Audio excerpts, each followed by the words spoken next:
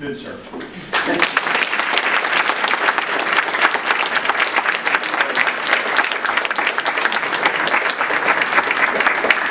Well, uh, first of all, people clapped before you said anything. My first reaction is to just sit down because it won't get any better than that. Thank you very much for a very kind introduction. I, I hope that I someday manage to earn all the wonderful credit you've given me.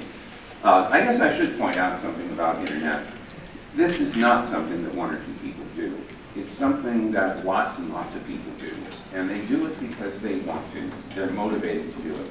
And although I worked hard to sell this idea in the early stages, early, I learned very early on that engineering, successful engineering is not just engineering, it's learning how to sell ideas and get other people to want to participate. But somehow this idea just grabbed a lot of people. It was an opportunity to do something.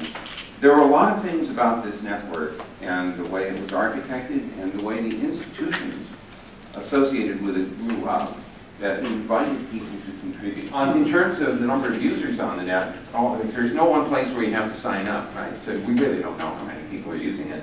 But the estimates from Internet World Stats say about 2.4 billion users uh, back in mid-year last year. My guess is it's probably closer to 3 billion now because there are internet cafes or people who share uh, equipment and the like and you just don't quite know how, uh, how many different people are using the same uh, piece of equipment.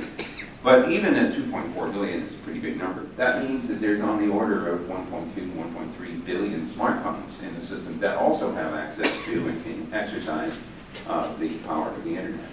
So all of that uh, statistical information tells us that we are penetrating, but certainly uh, by no means uh, everywhere. If I had shown you this slide 10 years ago, uh, the numbers would be pretty dramatically different. North America would be at the top of the list of penetration and absolute number of users, but as you can see, that's not true anymore. The number of users in Asia is now over a billion. Half of them are in mainland China.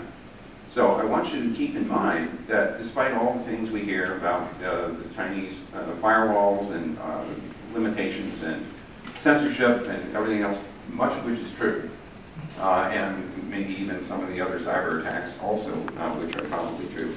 There's a huge investment there in internet. Now I have this, you know, half, the cup is half full view about that. I think that the more internet penetrates, the harder it is to keep people from sharing information. And eventually, society simply has to adapt to this change in the ecosystem. So I, I hope, it's like the, uh, the Grand Canyon, you know, it probably took about 400 million years to go from a, to this deep valley. Now, I hope it doesn't take 400 million years for the Chinese to get to the point where they're comfortable uh, with the sharing of information. But you know what? Patience counts in this, in this domain. Just get more internet out there, keep investing in it, and eventually the population will change and. Uh, you know, that's a substantial of.